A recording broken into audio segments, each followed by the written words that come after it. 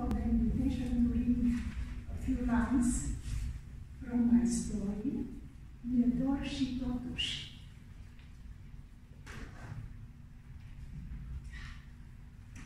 I wish I could explain in details the title, and especially the meaning of the word dor, D-O-R, that carries all the weight of the entire story and cannot simply be translated into any other language.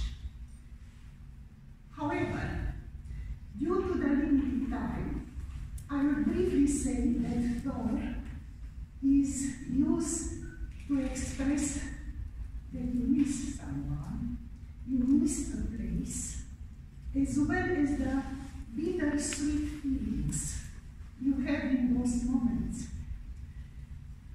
It could also mean hand belong.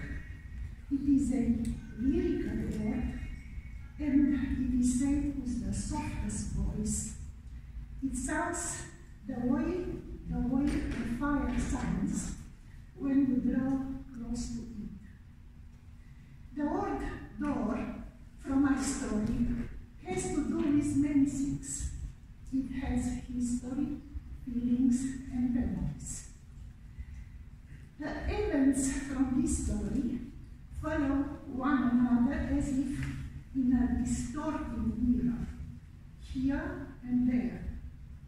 Here is summer, light, joy, songs, and careless multicultural, multicultural demonstrations in celebration of Christmas. There, it is the place and the people you miss. Is winter, snow, cold, and resilience. But in the same time, there it is a, a unity of faith, secular traditions secretly observed between the walls of each house. There are your roots.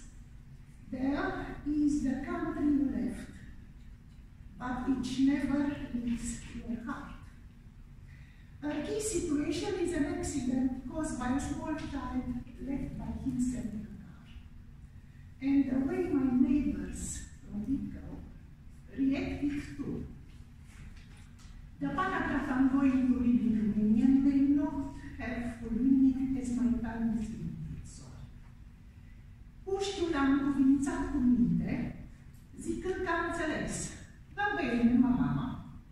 Dar cum a intrat femeia în casă, a trecut pe scaunul șoferului, a învârtit cheia de contact și a pornit motorul.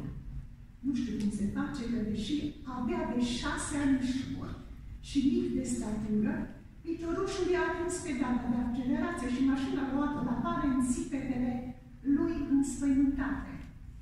Scăpată de sub control, a prins viteză tot mai mare, sub privirile neputincioase ale trecătorilor, amenințând acum să intre în șosea. În calea ei mai stătea doar o casă, a noastră.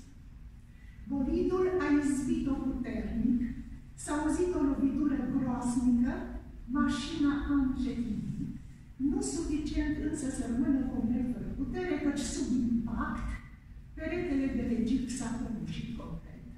Și jeepul a intrat fără nicio problemă în casă, oprindu-se tocmai în mijlocul sufrageriei.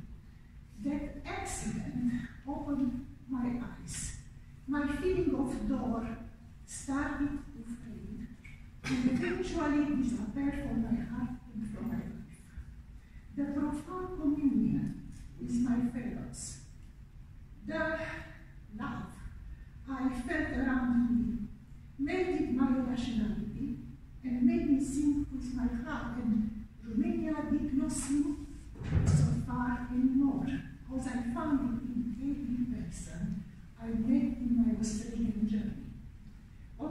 australienilor m-a ajutat să trec mai ușor peste momentele de impas pe, pe care le trăiește fiecare om rupt prin voia sorții de vatra părintească.